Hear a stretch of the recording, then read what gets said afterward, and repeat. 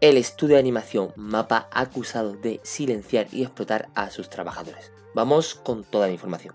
Y es que en las últimas horas han salido innumerables acusaciones por Twitter derivadas de ciertas decisiones que se habrían dado internamente en Mapa.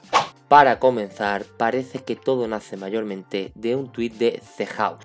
No tengo el tweet porque ha sido eliminado.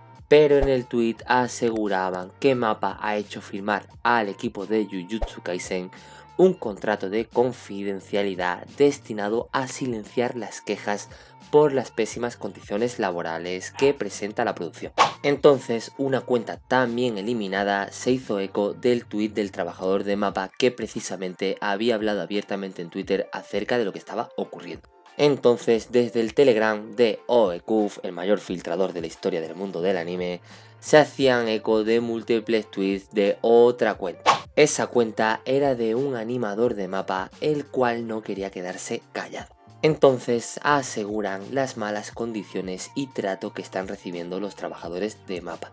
Y además explican que si no vemos a más trabajadores alzar la voz es porque el Código Penal de Japón lo pone verdaderamente difícil para que se pueda denunciar a otro en caso de que éste difame su reputación a nivel público. Es decir, un simple tweet podría implicar no solo la pérdida de trabajo, sino también tener repercusiones legales para el implicado. Vamos, que los machacan y encima no se pueden ni quejar. A ver, literalmente es que Mapa es una empresa explotadora de las más explotadoras, o sea, los machaca. Tipo Zom 100 para el que la haya visto. Sí que es verdad que después sacan los mejores animes y tienen la mejor animación del mercado prácticamente. Pero claro, ¿A qué precio? Esto puede parecer una tontería, pero quizás en un futuro veamos producciones que sufran retrasos o cancelaciones, debido a que este problema se acrecenten y alcen la voz.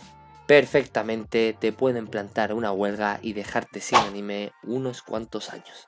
Pero esperemos que no, que todo se solucione y sigan trabajando como si nada, que les paguen un poquito más de dinero y ya está.